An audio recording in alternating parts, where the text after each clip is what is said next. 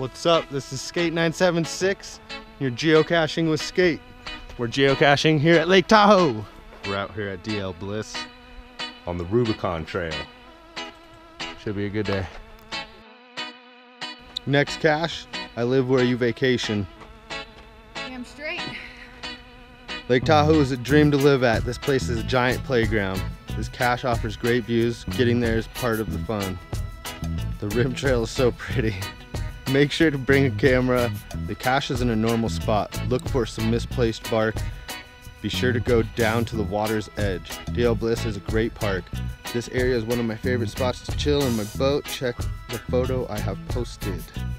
It's the good life. Have fun and cover up well. Yes, this park is closed in the winter, so plan on a little walk to ground zero. And our hint, behind the fallen tree. About 150 feet, 100 feet. We got some fallen logs and debris on the ground.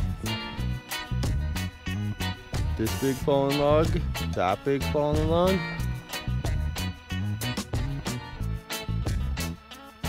Saying up.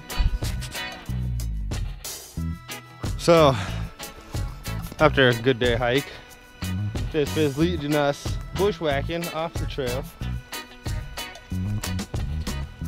Not too much bushwhacking. We'll see. 50 feet or so. Maybe into these bushes.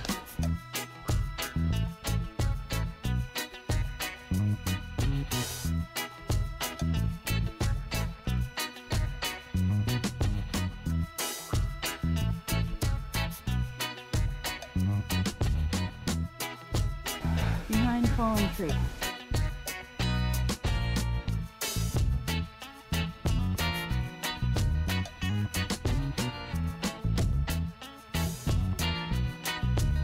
There's the sugar pine cone. Suckers are big.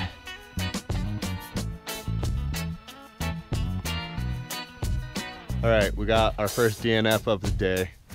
Couldn't find it in all those head high manzanita bushes, in various logs and bark. But now we're down here at the beach. Muggles on the beach. All right, we were muggled out of our last geocache today at the beach, but it's dinner time anyway. Catch you next time.